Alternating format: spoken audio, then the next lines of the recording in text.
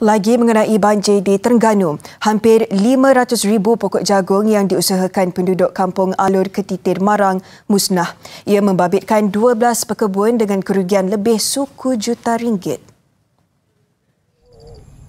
Pekebun yang terjejas Abdul Halim Muhammad Nur berkata dia terkejut apabila melihat kawasan kebunnya yang sebelum itu menghijau bertukar menjadi tasik selepas ditenggelami air separah satu meter. Dia yang mengusahakan kebun berkenaan sejak 30 tahun lalu berkata lima kali kebunnya ditenggelami air pada musim tengkujuh kali ini.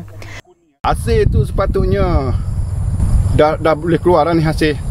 Ha, sebab dia hasilnya uh, jakaan dia jadual akhir bulan sebelah awal bulan 12 ha, ni dah tiba masa dia lah so macam mana habis? Ha, kalau kira anggaran habis tu 2 hektar ni lebih kurang dalam RM24,000 lah. dia satu hektar kita boleh hasil dalam RM12,000 bagi Wan Muhammad Zani Wan Jusoh, banjir tahun ini paling teruk dialaminya kerana air naik dengan pantas.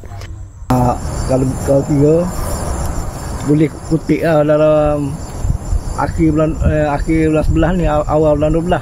Hmm. Oh, tapi tiba-tiba air hujan. Hmm. Mari tengok pagi tu selang lerai. Hujan dah lebih kurang dua dua malam. Mari tengok air tak tak lutut lah. Tengok tak ada kapal lah ni. Sementara itu, pengerusi Majlis Pengurusan Komuniti Kampung MPKK Kampung Air Putih, Rosli Othman berkata pihaknya sudah mengajukan permohonan bantuan kepada pihak berkaitan.